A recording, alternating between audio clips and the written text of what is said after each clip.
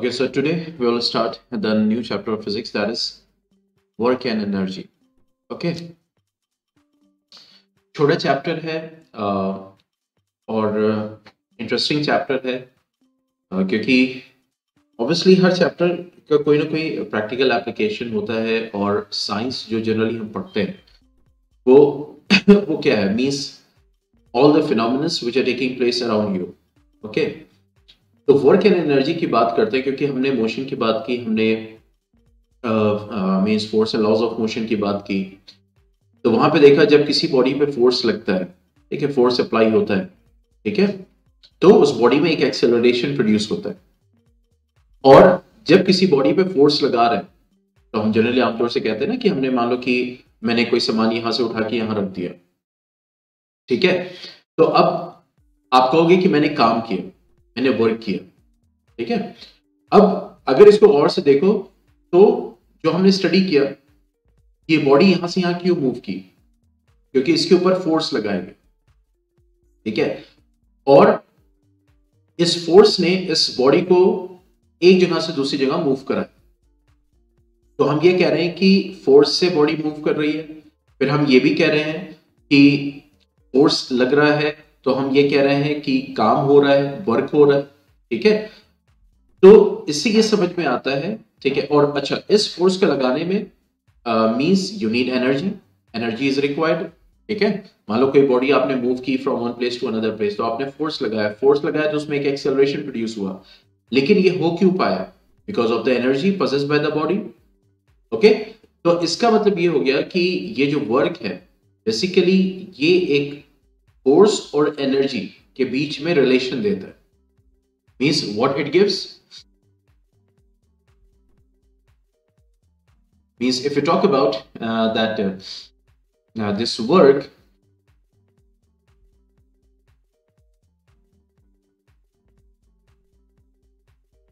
okay now this works gives a link between force and energy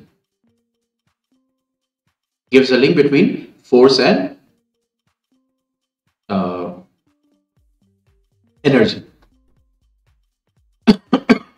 ठीक है? तो जैसे मैंने आपको एग्जांपल दिया कि जब कोई बॉडी है फॉर एग्जांपल ये बॉडी है और इसके ऊपर हम फोर्स लगा रहे तो ये बॉडी डिस्प्लेस करेगी मींस पोजीशन बी पे आ जाएगी। मान लीजिए ये पोजीशन ए था ये पोजीशन बी था। ठीक है? अब इसके ऊपर जब फोर्स लगा तो इस फोर्स के लगने की वजह से ये बॉडी डिस्प्लेस की, ये बॉडी आगे पहुँच गई। ठीक है? बॉडी क्या कर गई? डिस्प्लेस कर गई। ठीक है? तो अब हम ये कहेंगे कि ज़ाहिर सी बात है कि एक बॉडी डिस्प्लेस हुई है फोर्स की वजह से तो हम ये कहेंगे कि यहाँ पे कोई वर्क हुआ है। हम क्या बोलेंगे? ठीक है वर्क हुआ है। और इस पूरे प्रोसेस को कैरी करने में ऑब्वियसली यहाँ पे एनर्जी भी रिक्वायर्ड है। एनर्जी भी लगी। पॉइंट समझ में आ रहा है?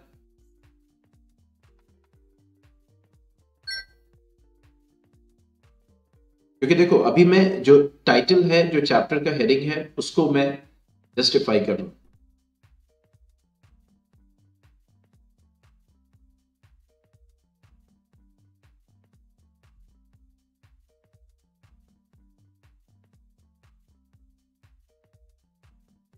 हाँ भाई अयान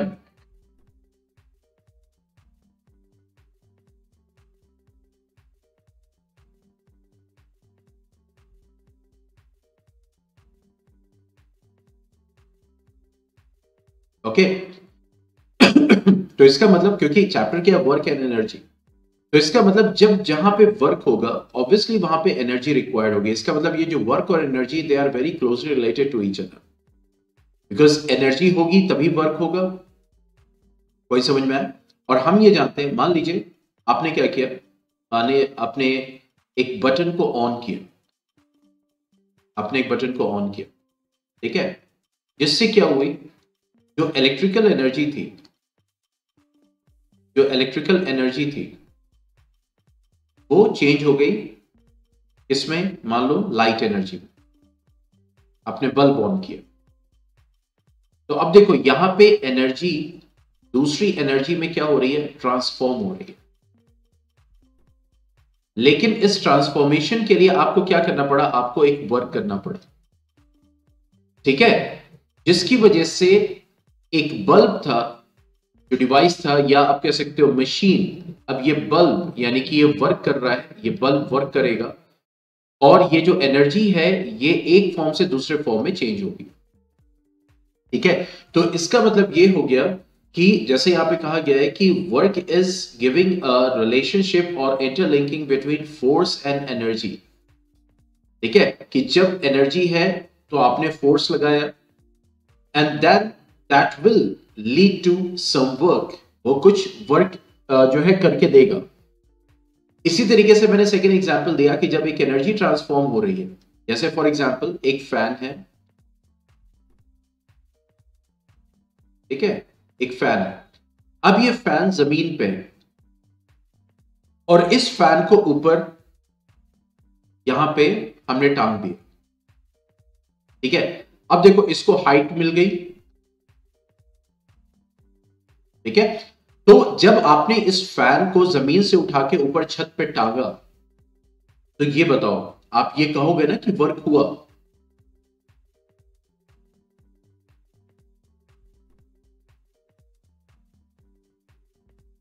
यस और नो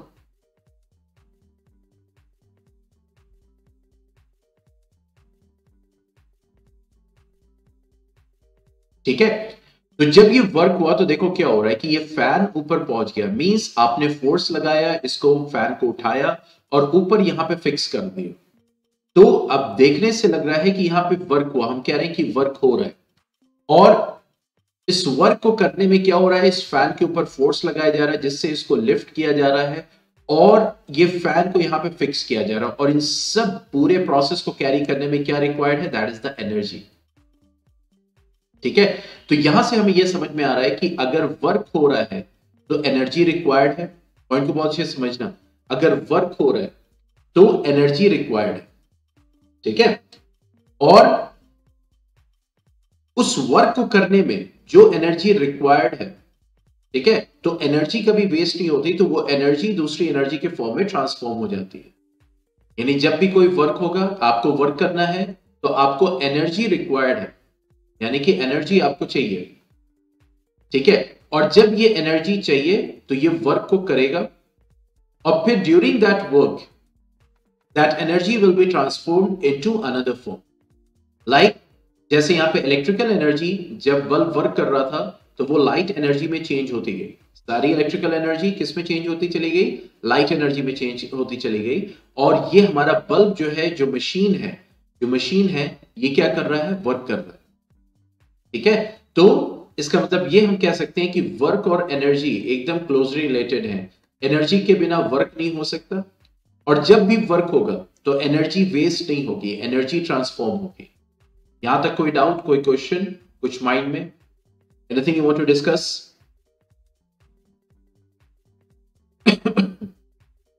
अब देखो, यहाँ पे आपको जब आप फिजिक्स में वर्क को पढ़ रहे हो तो दो चीज़ें आपको ध्यान में रखना होगा। मीन्स जनरली जो हम डेली लाइफ जो वर्क का मीनिंग होता है डेली लाइफ मीनिंग जो आप कह सकते हो, ठीक है जनरली हम वर्क को एसोसिएट करते हैं फ़िज़िकल वर्क मेंटल वर्क कहते हैं ना कि आज फ़िज़िकल वर्क ज़्यादा हो गया मेंटल वर्क ज़्यादा हो गया, इसलिए एग्जॉस्ट कर गए, ठीक है, बहुत थक गए हैं। ठीक है, एक तो ये मीनिंग होता है वर्क का, और दूसरा मीनिंग होता है साइंटिफिक मीनिंग यहाँ पे जो इस चैप्टर में हम पढ़ेंगे that will be the scientific meaning of work क्योंकि साइंस के अकॉर्डिंग बहुत सारे ऐसे वर्क जो होते हैं बट अकॉर्डिंग टू साइंस वो वर्क नहीं है। ठीक है अकॉर्डिंग टू साइंस क्या है? वर्क नहीं है वर्क डन ज़ीरो है वहाँ पे। तो इस वजह से जो हम पढ़ने वाले हैं वो क्या पढ़ने वाले? That is the scientific means concept of work okay तो अब यहाँ पे हम इस मीन्स uh, समझते हैं इस चीज़ को लेकिन उस पर जाने से पहले सबसे पहले हम देखेंगे कि डेफिनेशन uh, क्या है वर्क की और फिर उसके बाद uh, फिर हम उस पॉइंट पे आएँगे। कि क्यों ऐसा है कि एक वर्क हो रहा है, एक बंदा काम कर रहा है, लेकिन हम कह रहे हैं कि वो काम नहीं कर रहा है। ठीक है? अकॉर्डिंग टू साइंस ही और she is not doing work ठीक है? तो साइंटिफिक कॉन्सेप्ट ऑफ़ वर्क क्या है? पहले इसको समझते हैं। What is work according to science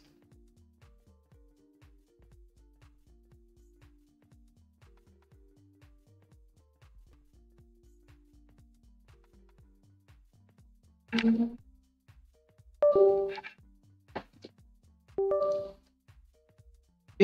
so what is work according to science? Okay, now the work done uh, means by a force acting on an object means first we will write the definition. Okay, first we will write what the definition. So work done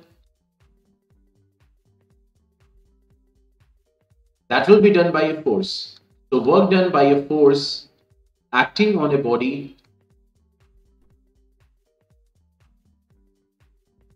okay work done by a force. Because as we as we talked about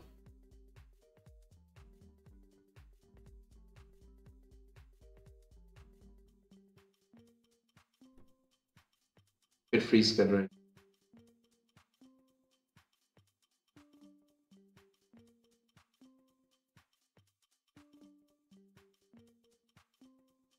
Okay, so the work done by a force acting on a body is equal to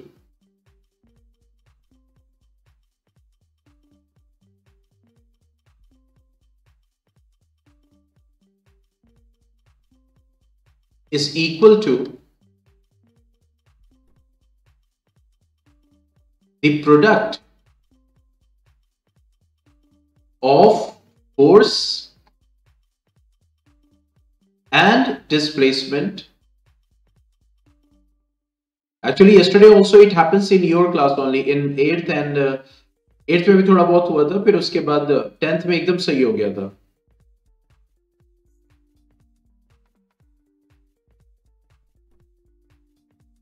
I don't know why it is happening. Okay.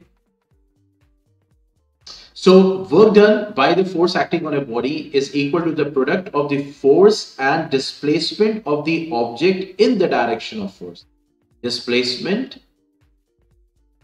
of object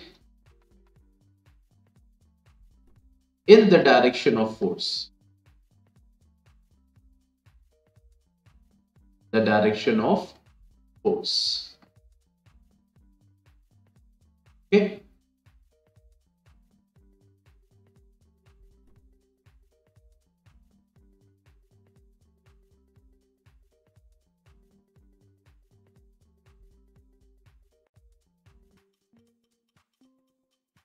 Okay, now that means work done is equal to what? Into S. Okay, work done is equal to what? F into S. Okay, now what is W? That is the work done. What is F? That is the force applied. What is happening? Okay.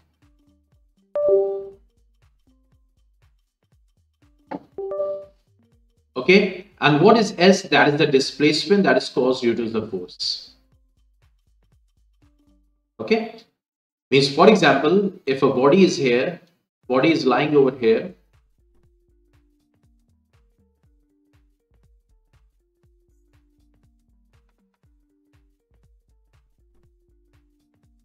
okay, the surface.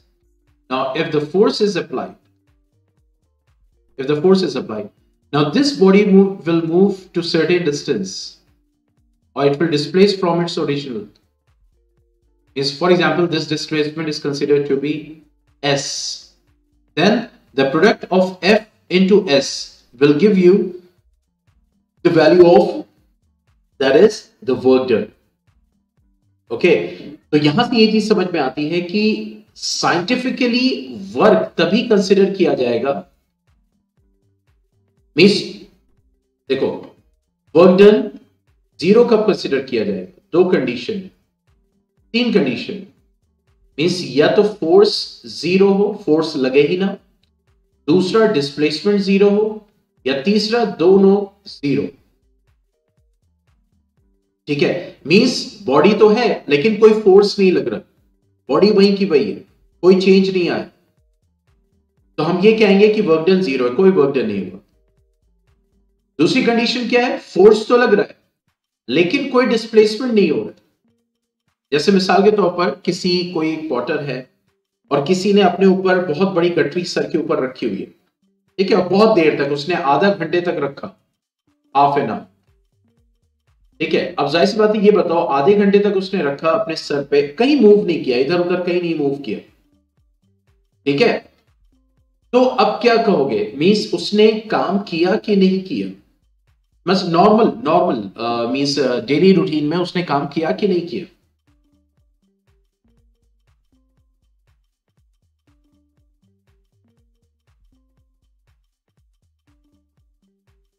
किया means उसके पसीने भी आएँगे वो थकेगा भी, उसकी energy का भी लॉस हो रहा है।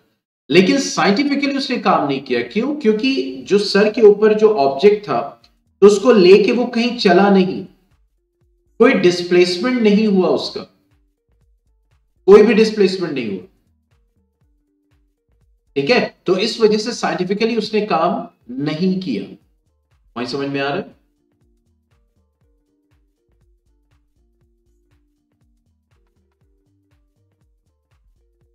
तो साइंटिफिकली उसने कोई वर्क नहीं किया।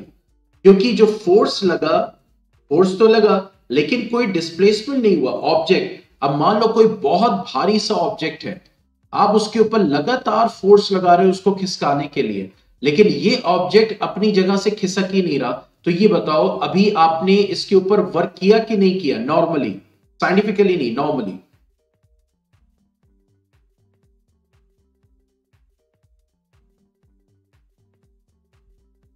किया।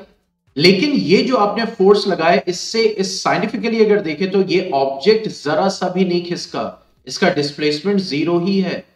तो जब आप इस एफ़ को एस से मल्टीप्लाई करोगे तो साइंटिफिकली आपने ज़ीरो वर्क किया। पॉइंट समझ में आया?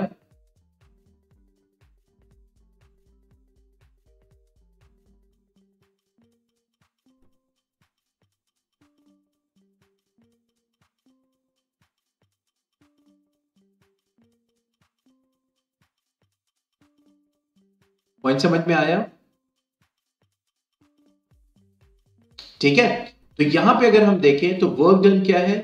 वर्क डन है that is force into displacement force into displacement that is what the work done is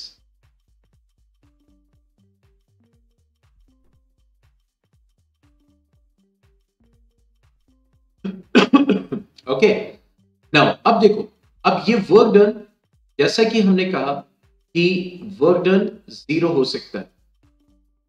ठीक है? वर्क डन पॉजिटिव हो सकता है और वर्क डन निगेटिव हो सकता है। Okay means work done zero भी हो सकता है। ज़ीरो की हमने कंडीशन देख ली कि या तो फोर्स ज़ीरो हो, या तो फोर्स लग रहा है, लेकिन ऑब्जेक्ट खिसक ही नहीं रहा। क्योंकि साइंटिफिकली वर्क डन क्या कॉन्सेप्ट है कि जब फोर्स अप्लाई हो तो वो ऑब्जेक्ट अपनी जगह से डिस्प्लेस हो। तो अगर ऑब्जेक्ट नहीं डिस्प्लेस हो रहा है, आप लगातार फोर्स लगा रहे हो तो साइंटिफिकली आप वर्क नहीं कर रहे दूसरा वर्क पॉजिटिव तो वर्क पॉजिटिव वही मतलब कि फोर्स जैसे मान लो वर्क डन ज़ीरो है मीन्स आपने फोर्स लगाया पर डिस्प्लेसमेंट यहाँ पे नहीं हुआ। डिस्प्लेसमेंट यहाँ पे नहीं हुआ।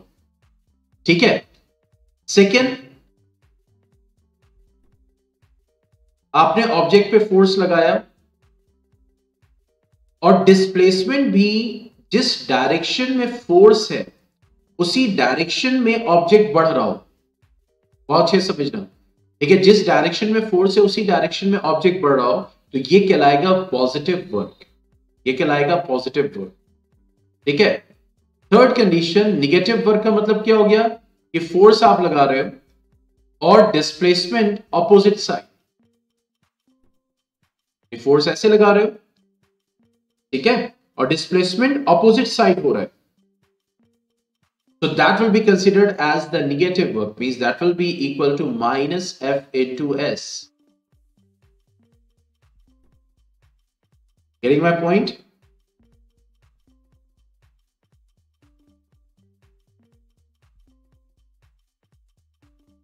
कोई एग्ज़ाम्पल बता सकते हो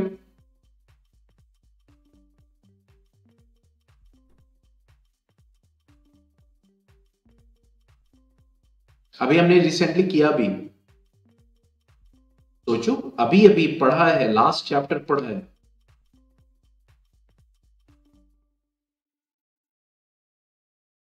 ग्रेविटी फोर्स इधर लग रहा है। ऑब्जेक्ट आप ऊपर फेंक रहे हो। तो यहाँ पे जो वर्क डन होगा पॉजिटिव होगा या निगेटिव होगा? फोर्स तो नीचे लग रहा है। और ऑब्जेक्ट आप ऊपर फेंक रहे हो तो वो जो ऊपर ऑब्जेक्ट जा रहा है फ्रॉम हेयर टू हेयर उसके ऊपर फोर्स तो अपोजिट ही लग रहा है ना? डिस्प्लेसमेंट इधर हो रहा है।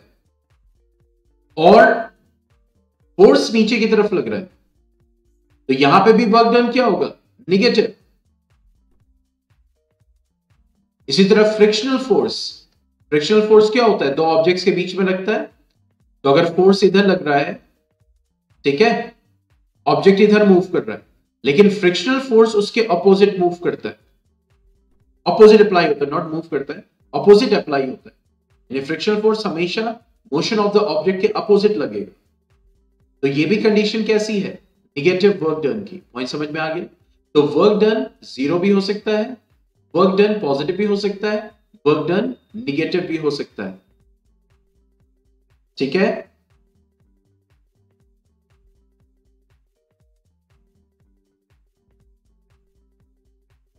तो वर्क डन ज़ीरो की हमने कंडीशन समझ ली कि फिर से क्विक रिवीजन करते हैं। Work done zero work done का फॉर्मूला क्या है? That is F into S यानी फोर्स लगेगा और डिस्प्लेसमेंट होगा उस फोर्स की वजह से। ठीक है? वर्क डन ज़ीरो कब होगा? या तो फोर्स ही ना अप्लाई हो, या फोर्स अप्लाई हो, लेकिन कोई डिस्प्लेसमेंट ना हो। उस फोर्स के डायरेक्शन में बॉडी मूव ही ना कर रही हो। एक बहुत बड़ी ट्रेन है, आप उसको धक्का दे रहे हो। आप तो फोर्स लगा रहे हो, लेकिन उस ट्रेन के ऊपर कोई फ़र्क नहीं पड़। रहा आप तो पसीने पसीने हो जाओगे, लेकिन साइंटिफिकली आपने कोई वर्क नहीं किया। ठीक है? वर्क पॉजिटिव मीन्स जिधर फोर्स लग रहा हो, उधर ही ऑब्जेक्ट मूव कर रहा हो डिस्प्लेस कर रहा हो। इधर एफ़ लग रहा है तो इधर ही एस यानी बॉडी भी उधर मूव कर रही है। तो that is the example of positive work और निगेटिव वर्क का एग्ज़ाम्पल हम लोगों ने डिस्कस किया यहाँ पे। ठीक है? अब आते हैं एसआई यूनिट यानी वर्क डन मींस इसकी अगर बात करें तो एसआई यूनिट ऑफ़ वर्क ठीक है? तो that will be joule joule work will the SI unit of the work is what joule अगर अदर यूनिट्स की बात करें, ठीक है? तो देखो वर्क डन का फॉर्मूला क्या होता है? वर्क डन का फॉर्मूला होता है एफ़ इंटू एस ठीक है फोर्स की यूनिट क्या होती है? न्यूटन और डिस्प्लेसमेंट की यूनिट क्या है? मीटर। तो other unit of work done क्या हो जाएगा? Newton metre. Newton metre. What the point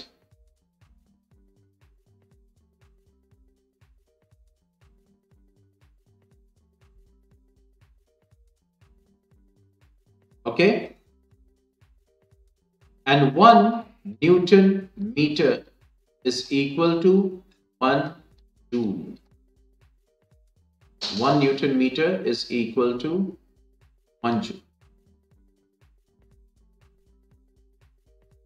कोई डाउट यहां तक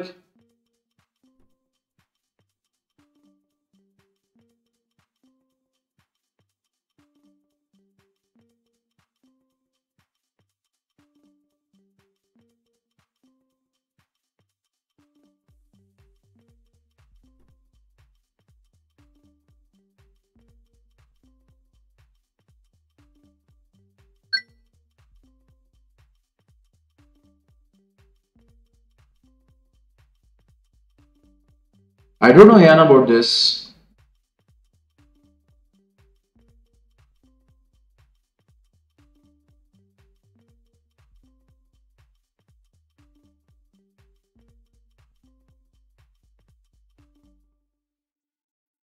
School से आया है तो अब, ये तो स्कूल वाले ही बेटा बता पाएँगे मुझे तो इसके बारे में कोई आइडिया नहीं है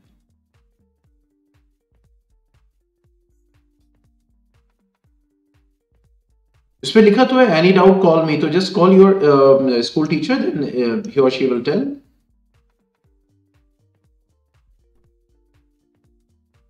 ओके अब देखो यहाँ पे हमने मींस टेक्निकल डेफिनेशन ली थी कि व्हाट इज़ वर्क डन तो वर्क डन हमने कहा था the product of the force and the displacement cause by the force is called work done अगर हमें एक uh, जिसको कहते हैं दूसरी डेफिनेशन लेना हो वर्क की तो हम उसको ऐसे लिख सकते हैं means when force applied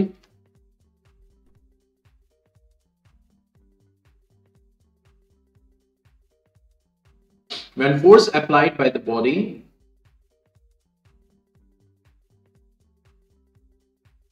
ठीक है force applied when a force applied on an object ऐसे लिख सकते हैं। Right now it's it's irritating right now इतना ज़्यादा इसका ये जो है ना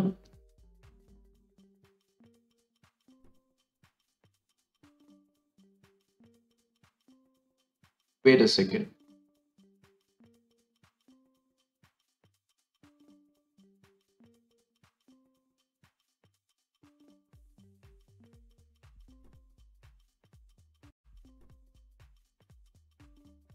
Okay, so when force applied on an object displaces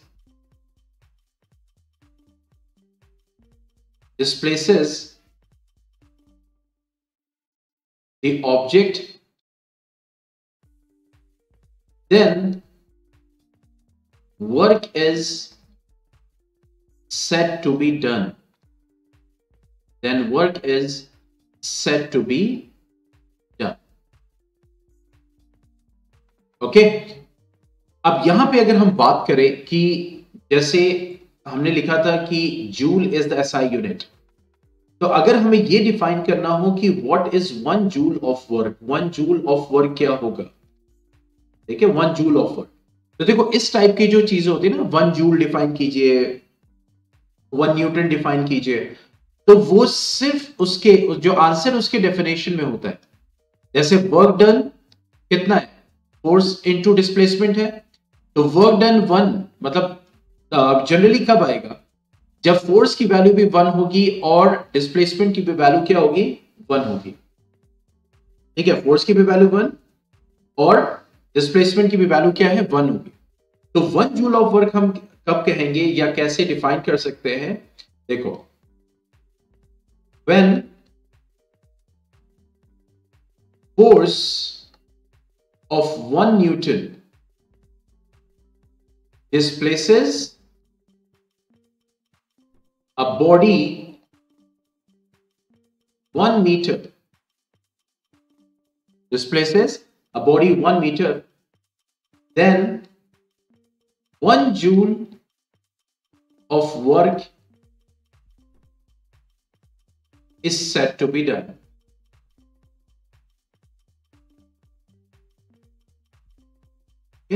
Okay? Then 1 joule of work is said to be done. यानी 1 joule of work आप कैसे डिफाइन करोगे? कि जब एक फोर्स लग रहा हो और जिसकी वैल्यू क्या हो? वन न्यूटन हो। और वो एक ऑब्जेक्ट को जितना भी भारी है, उससे कोई मतलब नहीं है। क्योंकि यहाँ पे क्या बोल रहे हैं? कि फोर्स वन न्यूटन का लगना चाहिए और ऑब्जेक्ट वन मीटर डिस्प्लेस हो जाए। ठीक है? यानी ऑब्जेक्ट क्या हो? वन मीटर डिस्प्लेस हो जाए। Is from A to B एक ऑब्जेक्ट है जो डिस्प्लेस हो रहा है फ्रॉम ए टू बी तो वन मीटर वो डिस्प्लेस हो जाए और उसके ऊपर फोर्स कितना लगे? वन न्यूटन तो इस वक्त जो वर्क हुआ है, हम ये कहेंगे कितना वर्क हुआ है? One joule of work so that will be the definition for one joule of work any confusion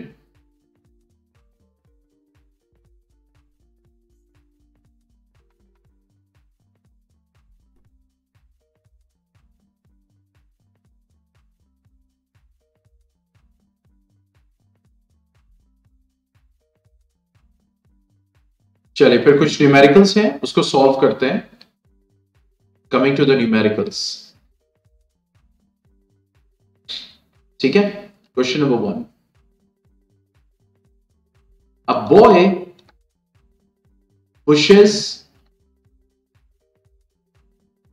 a book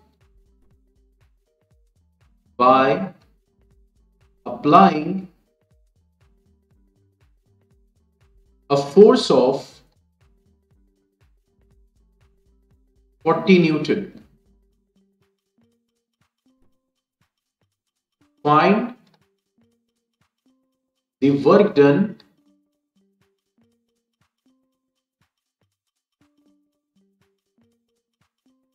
by this force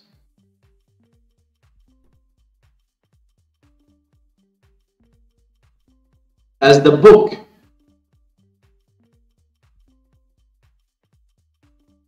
is displaced through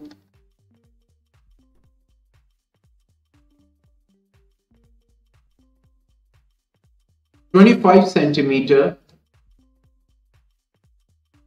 along the path.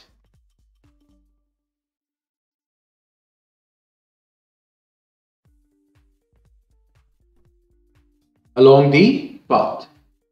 ठीक है देखो क्या कह रहे हैं? A boy pushes a book by applying a force of 40 newton एक book है, उस पर वो बॉय बुक बुक बुक लो ये बुक है, ठीक है? तो एक बॉय है जो इसके ऊपर फोर्स लगा कितना? 40 न्यूटन का। ठीक है? तो कह रहा है कि वर्क डन निकालो, अगर 40 न्यूटन का फोर्स इसके ऊपर लग रहा है, और बुक जो है, वो 25 सेंटीमीटर खिसकी है। ठीक है? 25 सेंटीमीटर तो हमें उसका क्या निकालना है? वर्क डन निकालना है। तो सबसे पहले ये देखेंगे कि फोर्स कितना लग रहा है। दैट इज़ 40 न्यूटन डिस्प्लेसमेंट कितना हो रहा है? 25 सेंटीमीटर अब देखो ये सेंटीमीटर में है। ठीक है? दिस इज़ इन सेंटीमीटर तो इसको हम चेंज करेंगे मीटर में। क्योंकि सेम फ़ंक्शन uh, uh, आपके सिस्टम ऑफ़ यूनिट में होना चाहिए। तो ये हो जाएगा 0.25 मीटर्स और निकालना क्या है हमें? वर्क डन वर्क डन हमें निकालना ठीक है? सो नाउ सबसे पहले हम क्या लिखेंगे? फॉर्मूला तो वर्क डन हो जाएगा। एफ़ इंटू एस हाँ ये ज़रूर आपको ध्यान देना है। निगेटिव पॉजिटिव ज़ीरो ये ज़रूर ध्यान देना है बेटा। क्योंकि आपको ये एनालाइज करना है कि जिस डायरेक्शन में फोर्स लग रहा है, उसी डायरेक्शन में डिस्प्लेसमेंट हो रहा है। तो पॉजिटिव ठीक है? तो वर्क डन क्योंकि यहाँ पे बुक पे फोर्स लग रहा है तो बुक फोर्स के डायरेक्शन में ही जा रही है। उसके ऑपोजिट नहीं जा रही है। ठीक है? तो यहाँ पे क्या हो गया? फोर्स हो गया हमारा 40 न्यूटन और डिस्प्लेसमेंट कितना हुआ? 0.25 यहाँ पे अब लिख देंगे हम क्या? Joule that is capital J okay so how much it is going to give you now see 25 force 100 uh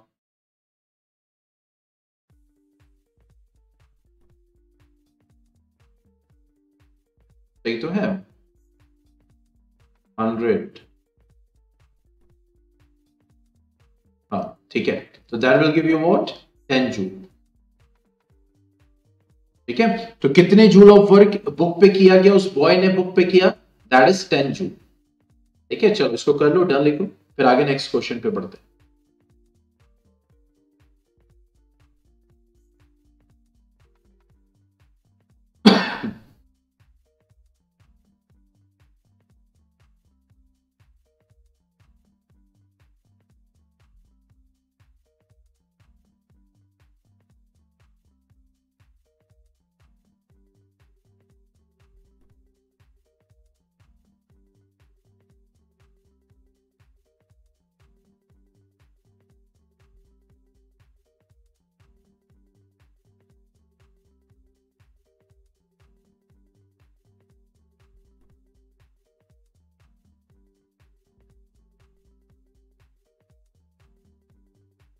My voice is not coming नहीं तो बेटा अभी नहीं बोल रहा मैं, मैंने बोला कि आप इसको कर लीजिए डन कीजिए, फिर आगे बढ़ते हैं नेक्स्ट क्वेश्चन पे।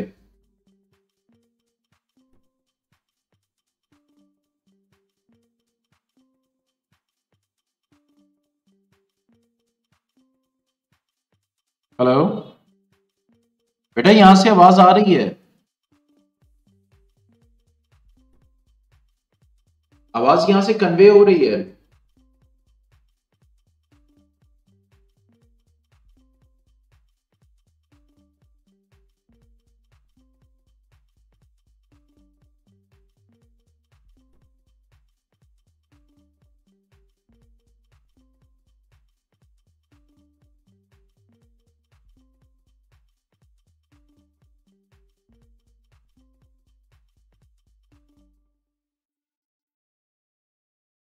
यस अयान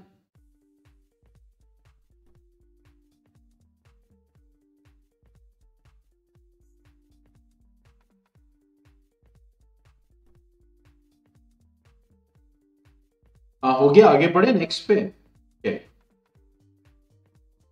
चलिए coming to the next question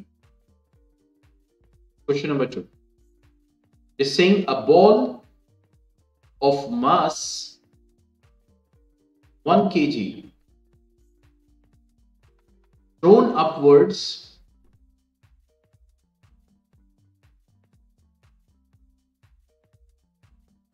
Reaches. A maximum height.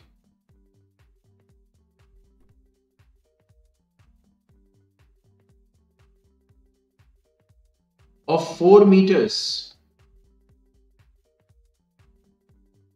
Calculate the work done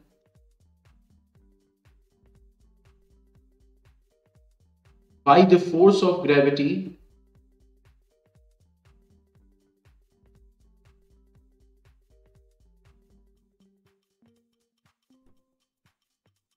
during the vertical displacement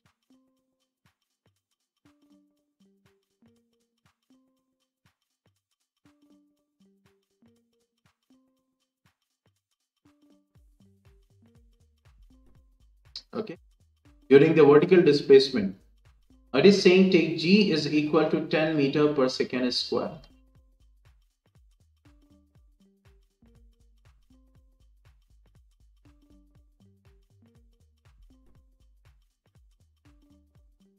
ठीक है अब देखो यहाँ पे क्या बोल रहा है एक बॉल है जिसका मास वन के है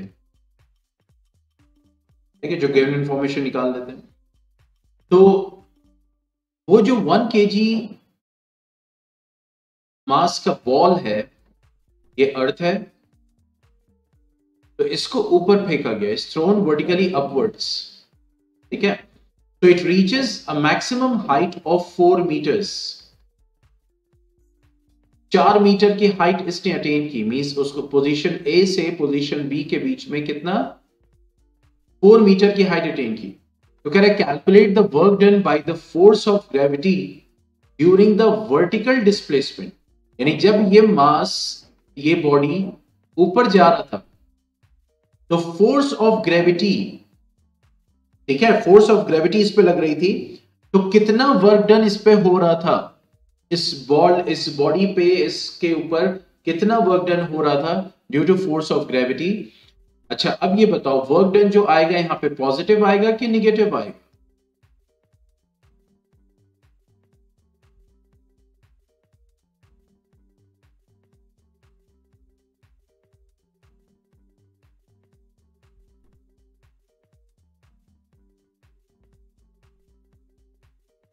वर्क डन पॉजिटिव होगा निगेटिव होगा?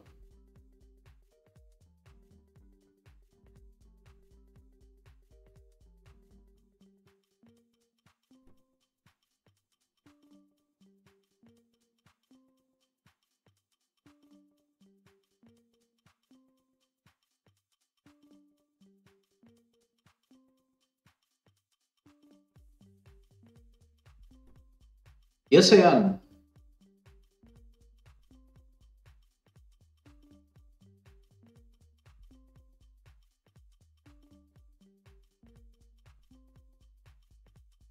पॉजिटिव क्यों होगा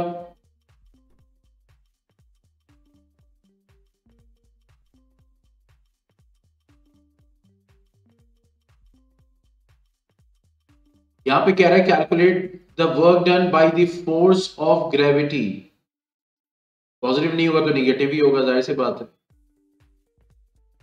लेकिन पॉजिटिव गलत आंसर दिया ना। गलत आंसर दिया, इसका मतलब है कि कॉन्सेप्ट नहीं अभी क्लियर हुआ।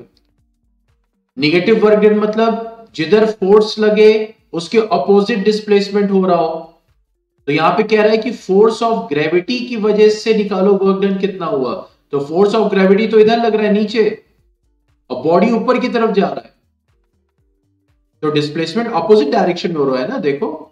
डायरेक्शन अपोजिट है, इसी से समझ जाओ। फोर्स नीचे लग रहा है, बॉडी ऊपर की तरफ़ मूव कर रही है। तो वर्क डन यहाँ पे क्या हो जाएगा? निगेटिव हो जाएगा। We have to calculate the work done तो फॉर्मूला क्या होता है? वर्क डन का फॉर्मूला आप यहाँ पे लेंगे माइनस एफ़ इंटू एस तो अब देखो माइनस अब फोर्स यहाँ पे डायरेक्ट नहीं दिया हुआ है। लेकिन हम ये जानते हैं कि जो वेट होता है, वो फोर्स होता है और उसका फॉर्मूला होता है एम इंटू जी यह भी ग्रेविटेशन में हमने सीखा है। तो इस एफ़ की जगह हम लिखेंगे mass into acceleration due to gravity क्योंकि यहाँ पे एक्सेलरेशन ड्यू टू ग्रेविटी की बात हो रही है। इंटू एस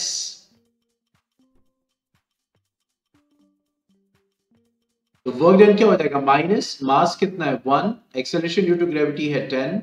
और डिस्प्लेसमेंट कितना हुआ? ये है डिस्प्लेसमेंट। बॉडी चार मीटर ऊपर गई है। तो इंटू फोर लिखेंगे और यहाँ पे लिख देंगे जूल तो वर्क डन हो जाएगा। That is minus forty joule minus forty joule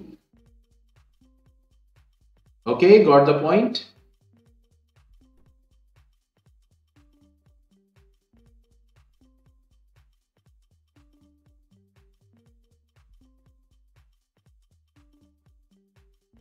इसको कर लीजिए डन लिखिए फिर आगे बढ़ते हैं next question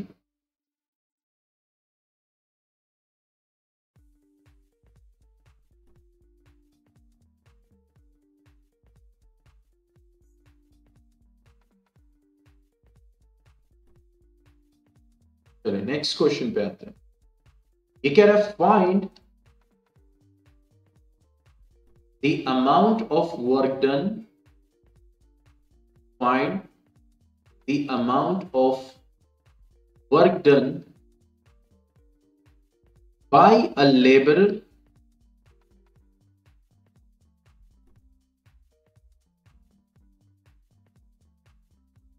by a laborer who carries n bricks n means n number of bricks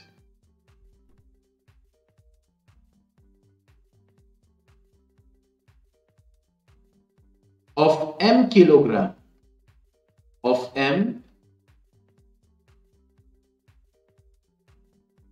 kilogram each to the roof of a house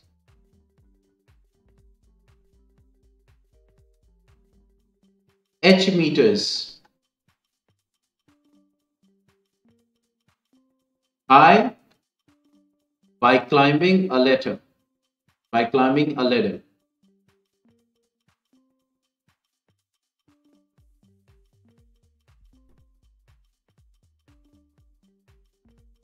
ये कह रहा है कि वर्क डन निकालो, जो एक मजदूर है, वो ईट को ढो रहा है एक ईट का वज़न एम किलोग्राम है तो उस जैसी वो एन ईट्स को उठाया और ज़ाहिर सी बात आपने देखा होगा, ईट ढोके जाते हैं मीन्स नीचे से ऊपर तक तो उसी सिचुएशन को ये, उसी सिचुएशन की बात कर रहा है। तो कह रहा है कि अब वो जो मजदूर है, वो मीन्स नीचे से ईट को उठा रहा है, ऊपर तक ले जा इससे एक लैडर की मदद से, एक सीढ़ी की मदद से। मान लो यहाँ पे सीढ़ी लगी हुई ठीक है? तो अब देखो यहाँ पे क्या हो रहा है कि एक ईट को उठा के एक हाइट पे ले जा रहा है।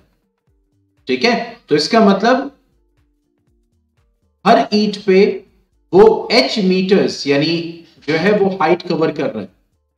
ठीक है? तो इस ईट को उठा के यहाँ तक ले जाने में वो एच मीटर कवर कर रहा है। पॉइंट को समझ रहे हो? कितना? एच मीटर तो वर्क डन जो लगेगा, क्योंकि यहाँ पे क्या कह रहा है? Work done by the labourer बहुत ध्यान से समझना। अब आप कहेंगे सर नीचे ग्रेविटी लग रही है ईट ऊपर की तरफ़ जा रही है तो वर्क डन तो यहाँ निगेटिव होगा। देखो वहाँ पे क्या पूछ रहा था? पिछले वाले क्वेश्चन में work done by the gravity किसके आ, मतलब किसके रिस्पेक्ट में वर्क डन निकालने को बोल रहा है? तो ग्रेविटी नीचे लग रही थी और बॉल ऊपर जा रहा था।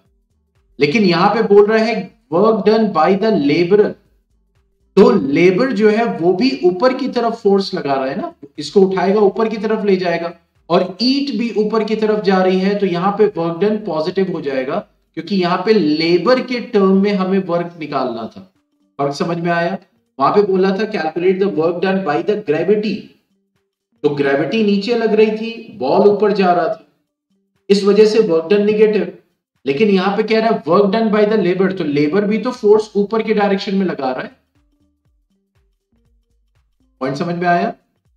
और ईट भी ऊपर की डायरेक्शन में जा रही है। तो यहाँ पे वर्क डन पॉजिटिव लेंगे अगर ये इसी क्वेश्चन में कहता work done by the gravity तब हम निगेटिव लेते क्योंकि ग्रेविटी नीचे की तरफ़ लग रही है और ईट सारी के सारी मजदूर ऊपर पहुँचा रहे ठीक है? तो यहाँ पे वर्क डन हम क्या लेंगे? पॉजिटिव लेंगे। ठीक है? अब वर्क डन जब होगा तो यहाँ पे एन नंबर ऑफ़ ब्रिक्स है। तो हर ब्रिक को ले जाने में वर्क डन करना पड़ेगा। तो ज़ाहिर सी बात है, जितनी भी ब्रिक्स है उनको ले जाने में करना पड़ेगा तो उसको एन से मल्टीप्लाई करेंगे। तो यहाँ पे देखा जाएगा कि अगर हमें वर्क डन कैलकुलेट करना है तो that will be force into displacement यही होगा। अब वर्क डन जो हमें कैलकुलेट करना है तो फोर्स क्या लग रहा है? अब देखो वही चीज़ होगी यहाँ पे भी ईट का मास दिया हुआ है। ठीक है? तो जब मास दिया हुआ है तो जो इसका वज़न होगा, उसी को ढोके आप ऊपर ले जाओगे ना? तो इसका मतलब ये हो गया कि m इंटू जी यहाँ पे फोर्स लगेगा। यहाँ पे फोर्स क्या लग रहा है? M इंटू जी क्योंकि इस ईट को आप उठाओगे ना तो जो जो वज़न है, उसी हिसाब से तो जितना वज़न होता है, उसी हिसाब से आप उठाते हो ना, उसके ऊपर फोर्स लगाओगे। तो इसका मतलब जो वेट होगा, वो यहाँ पे वही फोर्स होगा उस ईट का।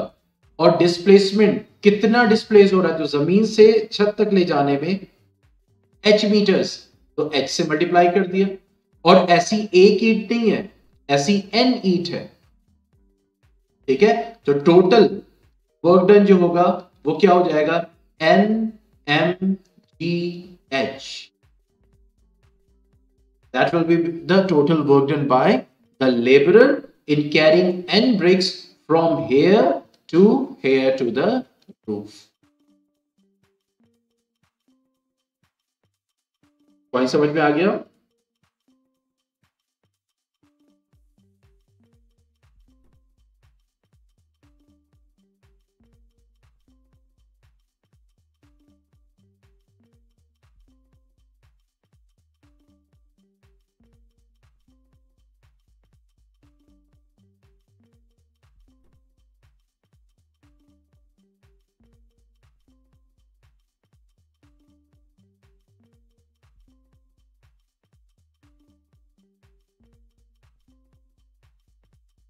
ठीक है?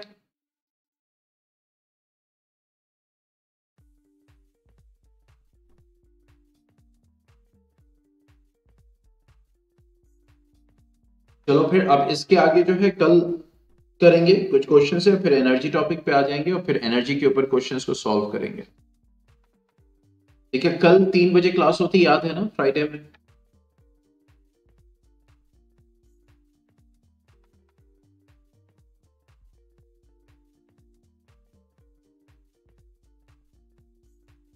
डेली नहीं Friday